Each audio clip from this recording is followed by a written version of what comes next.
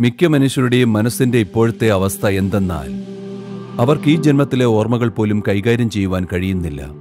പത്ത് ജന്മങ്ങൾ നിങ്ങൾ ഓർത്തെടുത്താൽ നിങ്ങളുടെ മനസ്സ് തകർന്നു പോകും. ഇത് ചെയ്യാൻ കൂടുതൽ ഉത്തരവാദിത്തത്തോടെയുള്ള മറ്റു മാർഗങ്ങളുണ്ട്. അബോധതലത്തിലുള്ള വിഷയങ്ങളെ ബോധാവസ്ഥയിലേക്ക് എടുത്തുവന്ന് അവയെ ലയിപ്പിക്കുക എന്നാൽ ഓർമ്മയിലൂടെയല്ല ഊർജതലത്തിലൂടെ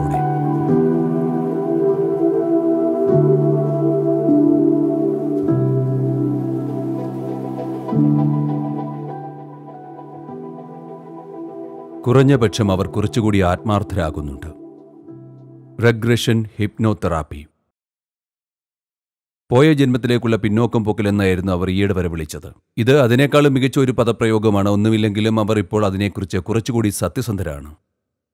അടിസ്ഥാനപരമായി ഹിപ്നോസിസ് എന്തെന്നാൽ ഹിപ്നോസിസ് വഴി നിങ്ങൾ യാഥാർത്ഥ്യത്തിലേക്ക് പ്രവേശിക്കാൻ ശ്രമിക്കുന്നു എന്നല്ല. നിങ്ങൾ ആഗ്രഹിക്കുന്നത് എന്തോ അത് സ്ഥാപിച്ചെടുക്കാൻ ശ്രമിക്കുന്നു എന്നാണ്. അങ്ങനെയല്ലേ? ഹിപ്നോസിസിന്റെ അടിസ്ഥാനം അതല്ലേ?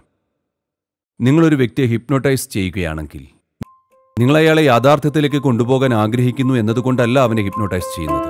നിങ്ങൾക്ക് യാഥാർത്ഥ്യത്തെ കെട്ടിച്ചമക്കുകയാണ് വേണ്ടത് അല്ലേ?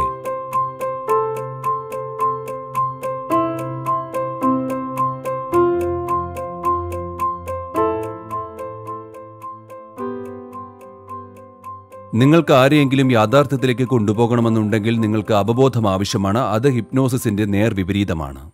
ഇപ്പോൾ അവർ പറയുന്നത് ഇത് ഹിപ്നോ തെറാപ്പി എന്നാണ്. അപ്പോൾ അവർ ഇനിയൊരു യാഥാർത്ഥ്യത കണ്ടുപിടിക്കാൻ പോവുകയാണ് അത് നിങ്ങളെ തിരുത്തുമെന്നവർ വിശ്വസിക്കുന്നു.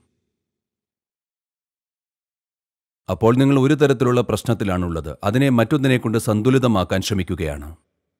കുറച്ചു കാലത്തേക്ക് ഇത് പ്രവർത്തിച്ചേക്കാം. ആരെങ്കിലും വളരെ രോഗാവസ്ഥയിലാണെങ്കിൽ. എന്തു ചെയ്താലും കുഴപ്പമില്ല. അതവരെ അല്പമെങ്കിലും സഹായിക്കുമെങ്കിൽ കുഴപ്പമില്ല. എന്നാൽ നിങ്ങൾ എന്നോട് ഇതൊരു ആത്മീയ പ്രക്രിയ എന്ന നിലയ്ക്ക് ചോദിക്കുകയാണെങ്കിൽ തീർച്ചയായും അല്ല റെഗ്രഷൻ. പൊതുവെ ഇതെല്ലാം വെറും മനഃശാസ്ത്രപരമായ വിഡ്ഢിത്തം മാത്രമാണ്. എന്നാൽ നിങ്ങൾക്കിത് ചെയ്യാൻ കഴിയുമെന്ന് കരുതുക. നിങ്ങൾക്ക് കഴിഞ്ഞ ജന്മത്തിലേക്ക് പോകുവാൻ കഴിഞ്ഞുവെന്ന് വയ്ക്കുക. ഞാൻ പറയുന്നത് മിക്ക മനുഷ്യരുടെയും മനസ്സിൽ ഇപ്പോഴത്തെ അവസ്ഥ എങ്ങനെയെന്നാൽ അവർക്ക് ഈ ജന്മത്തിലെ ഓർമ്മകൾ പോലും കൈകാര്യം ചെയ്യുവാൻ കഴിയുന്നില്ല. ഒരു ജീവിതകാലത്തെ ഓർമ്മകൾ തന്നെ അവരിൽ നരകത്തിന്റെ പ്രതീതി ഉളവാക്കുന്നല്ലേ? പത്ത് ജന്മങ്ങൾ നിങ്ങൾ ഓർത്തെടുത്താൽ നിങ്ങളുടെ മനസ്സ് തകർന്നു പോകും. അങ്ങനെ തോന്നുന്നില്ലേ?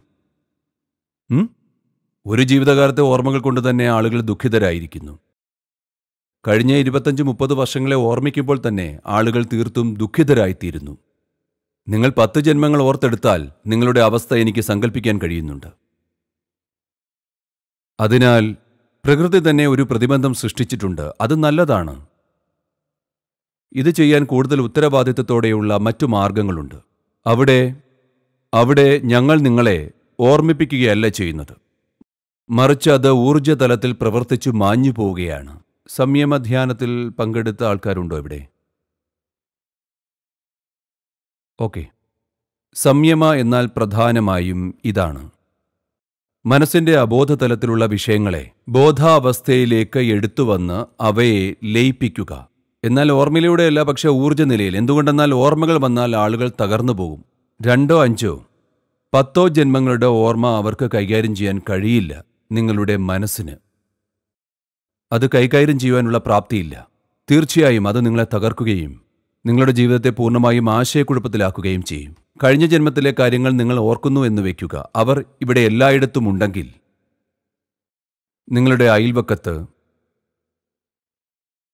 നിങ്ങളുടെ അയൽക്കാരന്റെ ആരെങ്കിലും അയൽക്കാരന്റെ ഭർത്താവോ അല്ലെങ്കിൽ അയൽക്കാരന്റെ നായയോ കഴിഞ്ഞ ജന്മത്തെ നിങ്ങളുടെ കുട്ടിയായിരുന്നുവെങ്കിൽ എനിക്ക് നിങ്ങളെ സങ്കല്പിക്കാൻ കഴിയുന്നുണ്ട്. നിങ്ങളുടെ ഇപ്പോഴുള്ള വൈകാരിക അവസ്ഥയിൽ നിങ്ങൾക്ക് ഇത് കൈകാര്യം ചെയ്യാൻ കഴിയില്ല. അത് നിങ്ങളെ ഭ്രാന്ത് പിടിപ്പിക്കും. അത് തികച്ചും നിരുത്തരവാദപരമായിരിക്കും. മുൻജന്മ ഓർമ്മകൾ വീണ്ടെടുക്കുന്നതിൽ ആരെങ്കിലും പ്രാപ്തനാണെങ്കിൽ അങ്ങനെ ചെയ്യുന്നത് തികച്ചും നിരുത്തരവാദപരമായിരിക്കും. ഇത്തരം കാര്യങ്ങൾ ഞങ്ങൾ വളരെ നിയന്ത്രിത അവസ്ഥയിൽ നിർദ്ദിഷ്ട ആവശ്യങ്ങൾക്കായി നിശ്ചിത ആളുകൾക്ക് മാത്രമേ ചെയ്യുന്നുള്ളൂ.